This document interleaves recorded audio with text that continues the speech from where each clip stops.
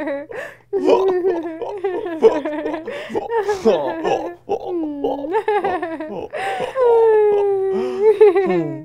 welcome back to SourceFed. I'm Steven Suptic. And I'm Candace Carrizales. If you know anything about President Trump's counselor, Kellyanne Conway, it's that her TV appearances usually raise more questions than answered. You go into an interview with her hoping to understand the administration a little bit better, and you come out wondering, is it actually possible to spy on someone using a microwave? Well, Kellyanne seems to think so. In the past couple of weeks, every news outlet and their mothers covered Trump's allegations against Obama. If for some reason you haven't been beaten over the head with information about the allegations, here's the beating. President Trump read a Breitbart article and concluded that the Obama administration wiretapped Trump Tower. There's a lot more to the story. If you want to learn more, click the link in the description to watch our previous video on the subject.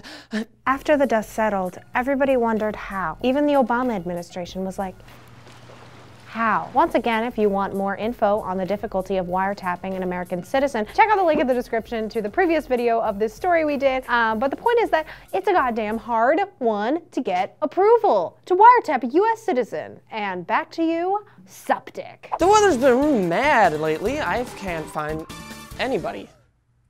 So without evidence, Kellyanne Conway once again seemed like she'd be backed into a corner. But once again, again, Conway is a queen of the corner. During a recent interview about the wiretapping allegations, Conway dropped a devastating factoid that opened the eyes of the public forever. Do you know whether Trump Tower was wiretapped? What I can say is there are many ways to surveil each other, uh, any number of different ways, and microwaves that turn into cameras, etc. That that brings new meaning to the term nukem. Oh, that you do, the, do it with, yeah, no, yeah.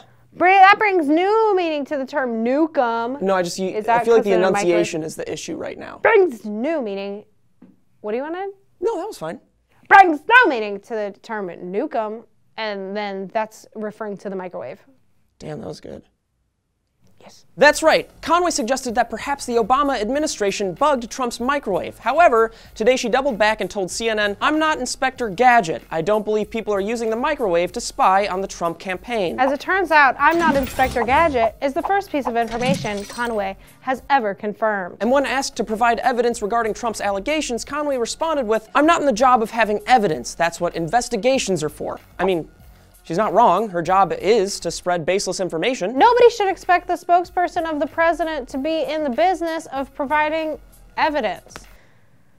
That hurt me a little bit to say. I mean, obviously she herself wasn't making the wiretap allegations, but she's doing these interviews to defend the president, so what's the point if there's nothing to defend him with? That's why I'm making allegations right now against my coworker, Candace Carrizales. And I'm afraid to inform you all that Candace has hemorrhoids. You spelled it hammerheads. You spelled it hammerheads. And thank you all for watching. Let us know in the comments what wacky ways you'd spy on somebody. I'm Steven Suptic. And I'm Smoothantha Jones. Candace Carrizales.